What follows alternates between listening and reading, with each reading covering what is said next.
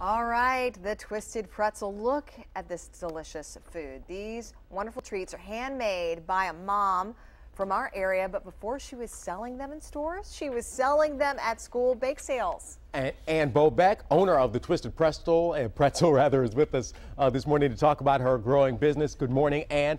Now, you say you started this business when your son was going off to co college, but why pretzels of all things? I've always I took my two favorite treats, chocolate and pretzels, and just combined them and might made a, started a business. So Yeah, the sweet and the salty. You Yeah, can't my- go wrong. yes, exactly. And you've brought just quite a variety here. What's your favorite or what's the most popular? the most popular right now, I think, is probably the funky chunky bark. Um, everybody loves that. Once you try it, you're um, you're addicted. All right, can we try one? you I'm most certainly, gonna try. yes.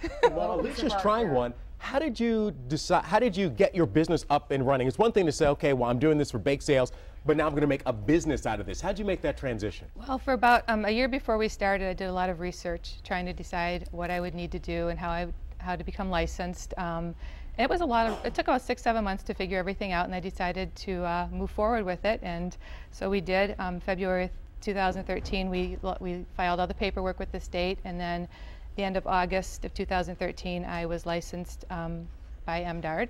So I was officially ready to go. Well, I have to say, I did taste this. It's delicious. Thank you. Chunky bark. It's so good.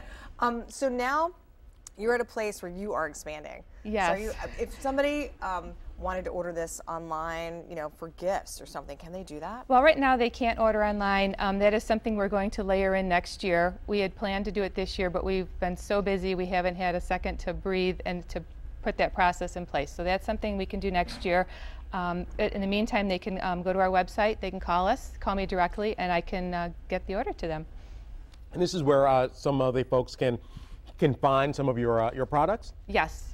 Holy Cannoli, Viviano's a Flower Shop, Urban Attic. Thank you so much. I'm not sure what flavor I'm enjoying here, but it's a beautiful It's shimmering, beautiful. Yeah, it's like pink. shimmering pink, and it's, it's a really wonderful flavor. So thank you so That's much. a Ann. raspberry with dark A ra- chocolate. there you go. I couldn't place the, the picture. You can tell how refined my palate is. Thank you so much, Ann We Bobeck. wish you all the best. Thank of you very much. So When we come back, Detroit Lions safety James Ihedigbo's in the house. He's going to join us talking about a little football and a new foundation he's launching called Hope Africa USA. We'll be right back.